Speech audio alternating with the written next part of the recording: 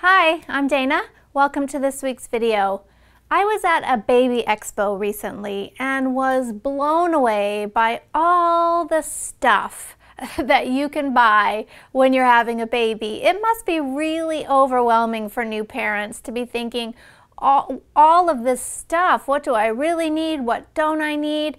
I mean, it's a lot has changed in the last 15 years since I had my first. And so today I want to give you, I'm not a huge believer in gadgets. I really don't think that there's anything magical that's going to get your baby to sleep. No, you know, motion crib, no fancy lavender spray. I just I don't I just don't believe it. I believe that Sleep is a skill set and you need to learn independent sleep skills. And once a baby's learned that, then they're going to become a really great sleeper.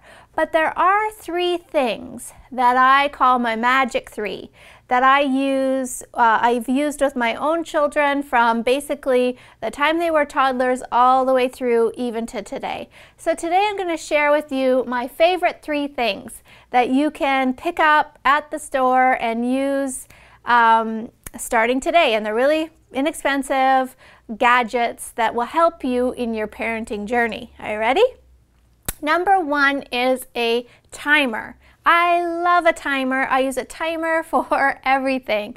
It's a great way to keep things consistent. It's a great way to sort of take the blame off of you and put it on the timer. Uh, and it's a great way to basically get kids to respond as quickly as you would like them to. So I'll give you a couple of examples where I would use a timer. One, when my kids were little, especially my middle son, hated to get out of the bathtub, just always threw a fit every time. So I brought in the timer and I said, as soon as we hear the bell, it's time to get out. Now, the first few times, absolutely, he still kicked up a fuss. But as he began to become aware of the fact that every time that bell rings, she hauls me out of the tub, whether I like it or not, he came around to the idea that the bell meant I have to get out, no point in putting up a fuss, and he stopped. And he would say, bell, and he would climb out of the tub and we'd move on to the next phase.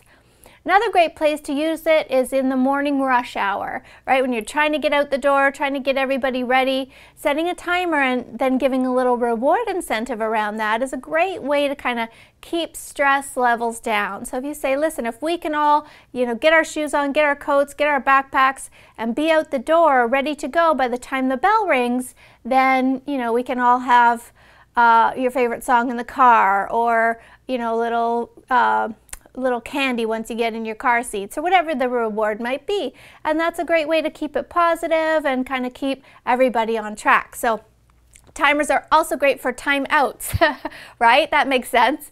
Uh, setting the timer for uh, a minute for every age your uh, year your child is is again a great way to kind of keep timeouts consistent and let your child know that okay I have to sit here until the timer goes uh, and then I can um, proceed. So that's one. Number two is reward. I love to give rewards. It's a great way to kind of get the ball rolling in the right direction. I don't want to see it linger on too long. It's just basically setting the stage for the behavior. So again, if you've got that morning rush hour and you're having a hard time getting out the door, setting a little reward incentive for everybody is a great good way to motivate. You can also use it at your bedtime process. You can use it for your child staying in their bed all night. You can use it if your child's getting up too early in the morning. If you can stay in your bed until your clock turns seven or magic seven or till you see the light come up, then um, there can be a little reward in that as well. Now, you're not going to be rewarding your child until the time they leave home. It's just for the first week or so until the behavior gets established, and then you kind of just stop mentioning it. Your child kind of loses uh, interest in it because there's reward enough in the fact that, you know, you're happy, you're giving lots of verbal praise. They're finding it's much better to be organized in the morning than to feel stressed out about it. So that's another one. My third little gadget is a clock. I love a clock. Uh, it's a great way to keep a toddler in their bed longer in the morning hours. Early morning wake ups are a really common problem, especially with the toddler. Once he has the freedom to get out of his own bed, you might find you have a little visitor at 5 o'clock in the morning. That's not fun for everyone. So you can just go old school. It's what I did with all my kids. Just got a digital alarm clock, duct tape over those minute numbers so all my kids could see was the hour, and then just start talking about Magic 7. That means it's nighty night, that means it's morning. Please don't call or come for me until you see that Magic 7.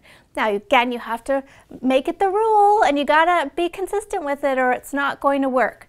But that's a great way to keep your children in bed till the appropriate hour.